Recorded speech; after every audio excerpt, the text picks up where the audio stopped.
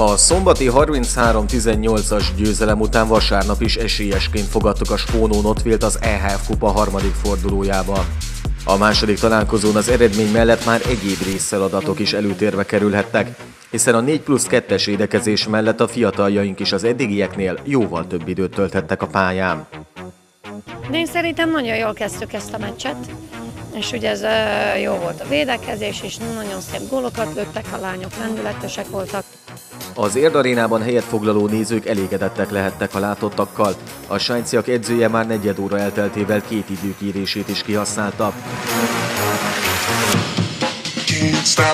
Ám Urz Mületárer sem tudta megállítani az érdi rohamokat. Már a 25. percen 10 gólos előnybe kerültünk, ráadásul éppen az első nemzetközi kupa meccsét játszó Nick Viktóriának köszönhetően.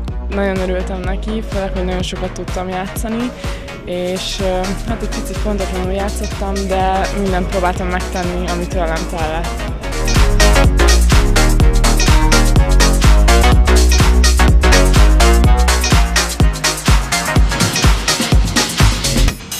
A 18-8-as első játékrész követően Mester Nórával és Tagács Kittivel egészült ki a csapat.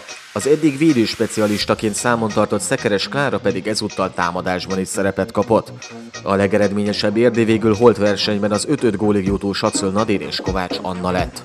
Edina azt mondta nekünk, hogy, hogy, hogy azért nem lesz könnyű meccs, és ez valóban így volt, és mi se gondoltuk, hogy, hogy könnyű lesz de mindenki nagyon akart és nagyon küzdött, és örülök neki, hogy tovább jutottunk, és, és két nagyon jó meccset tudtunk játszani.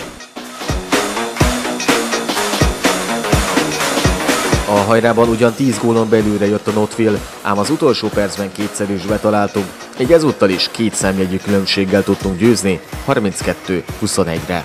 Szeretem egymás után nézni a dolgokat, most már ugye lezártuk itt az öltözőbe ezt a, ezt a mai továbbjutást, és ennek nagyon örültünk. Holnaptól pedig elkezdünk edzeni és készülni. A mieink legközelebb a bajnoki kupa, illetve bajnokok ligája címvédő Győri Audieltót fogadják szerdán 19 órakor az Érd arénában.